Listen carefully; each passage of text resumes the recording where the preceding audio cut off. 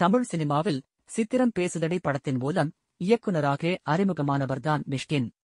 தொடர்ந்து அஞ்சாதே முகமூடி ஓநாயம் ஆட்டுக்குட்டியும் பிசாச்சு சைகோ துப்பறிவாளன் உள்ளிட்ட படங்களை இயக்கி தனக்கென்று தனி முத்திரையை பதித்தார்.